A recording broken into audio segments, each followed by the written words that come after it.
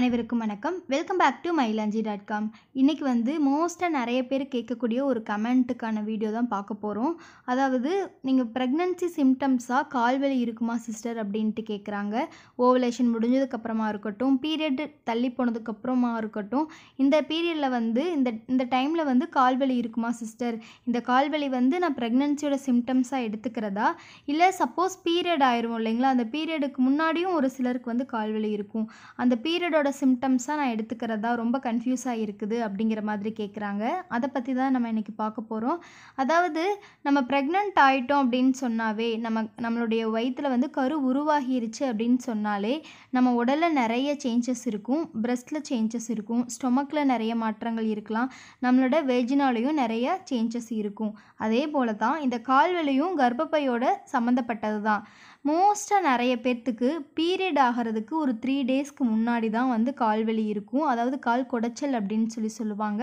எனக்கு அப்படி தான் இருக்குது இப்போ இருபத்தி எட்டாந்தேதி நான் பீரியட் ஆக போகிறேன் அப்படின்னா எனக்கு ஒரு இருபத்தி அஞ்சாந்தேதி இருபத்தி ஆறாந்தேதியிலேருந்து பார்த்தீங்கன்னா இந்த முட்டையிலேருந்து கீழே வரைக்கும் ஒரு மாதிரி குடைச்சல் வந்து ஸ்டார்ட் ஆயிரும். மோஸ்ட்டாக நிறைய பேர் சொல்கிறது பீரியட் ஆகிறதுக்கு முன்னாடி தான் வந்து இந்த கால் குடைச்சல் இருக்கும் அப்படின்னு சொல்லி சொல்லுவாங்க.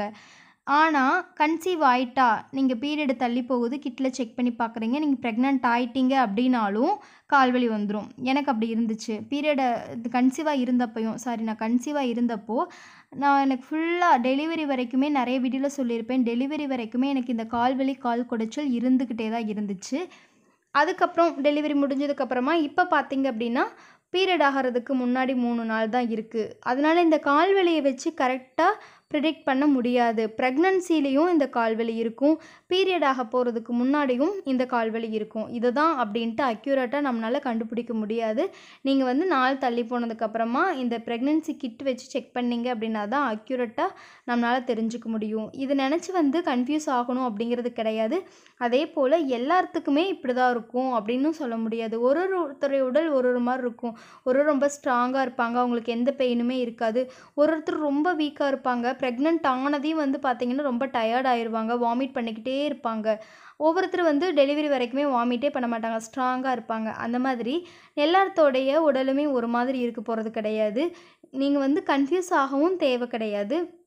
இந்த சிம்டம்ஸ் எல்லாம் நோட் பண்ணிக்கோங்க. ரொம்ப நாளாக வெயிட் பண்ணிட்டு இருக்கிறீங்க அப்படின்னா ஓவலேஷன் முடிஞ்சதுக்கப்புறமா சில சிம்டம்ஸை நோட் பண்ணிக்கிறது எதுக்காக அப்படின்னா கேர்ஃபுல்லாக இருந்துக்கலாம்ல. நமக்கு இந்த கால்வெளி ஆகட்டும் வயிட் டிஸ்சார்ஜ் ஆகட்டும் இதை நோட் பண்ணிக்கிட்டோம் அப்படின்னா ஸ்டொமக் பெயின் இதெல்லாம் நோட் பண்ணிக்கிட்டோம்னா நம்ம வந்து கேர்ஃபுல்லாக இருந்துக்கலாம். ஓ நமக்கு லைட்டாக சிம்டம்ஸ் தெரிய ஆரம்பிச்சிருச்சு.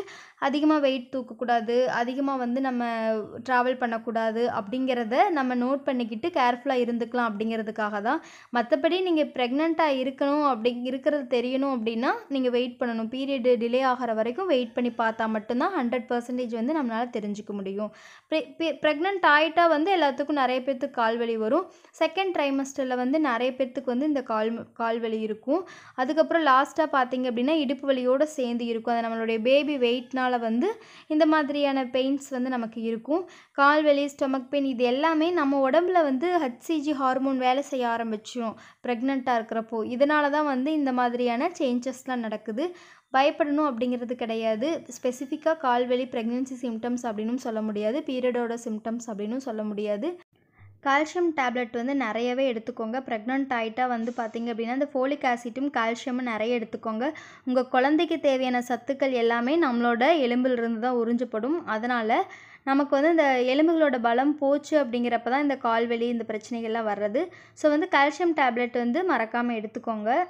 ஓரளவுக்கு கிளியராக புரிஞ்சிருக்கும் அப்படின்னு நினைக்கிறேன். என்ன மாதிரி வீடியோஸ் வேணும் அப்படிங்கிறத கீழே கமெண்ட் பாக்ஸில் கமெண்ட் பண்ணுங்கள் thank you so much thank you for வாட்சிங்